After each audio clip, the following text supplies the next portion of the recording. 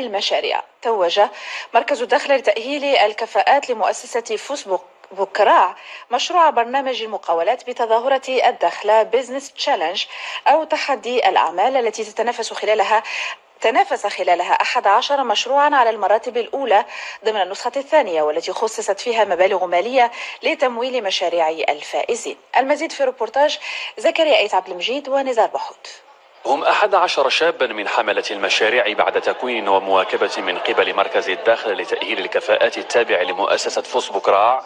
حضروا للتباري على الجوائز الثلاث لتظاهرة الداخلة Business Challenge مسابقة تروم تشجيع الشباب على الولوج إلى عالم المقاولة والتشغيل الذاتي. المشروع ديالي كان عبارة عن إنشاء مختبر اللي كيهم التحاليل اللي كتخص les industries de de pêche وأنا جد سعيدة صراحة بهذا بهذا التتويج. المشروع ديالي هو مخيم سياحي تقليدي صحراوي يجسد عادات وتقاليد المنطقة تاع الناس الاولين اللي كانوا يعيشوهم في الصخرة نقدموا أطباق محلية وبالإضافة إلى التعريف بالمنتوجات المجالية. المشاركون من على المنصة دافعوا على مشاريعهم أمام لجنة التحكيم التي اختارت ثلاثة مرشحين للفوز بجوائز التظاهرة التي تتراوح بين 20 و 40 ألف درهم إلى جانب إمكانية الاستفادة من قروض للشرف دون فائدة ودون ضمانات. هناك مجموعة من البرامج المقاولات وهذا برنامج من بين البرامج اللي كيميز مدينة الداخلة.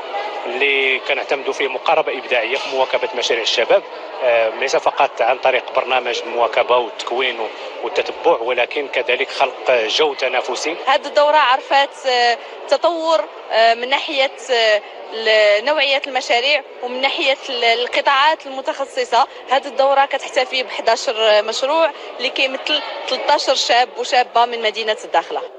تظاهرة الداخلة Business Challenge في نسختها الثانية كانت مناسبة للتعريف بالفائزين في النسخة الأولى الذين تمكنوا من إخراج أفكارهم إلى حيز الوجود لتشجيع بقية المشاركين وتحفيزهم على المضي قدما في طريق المقاولة.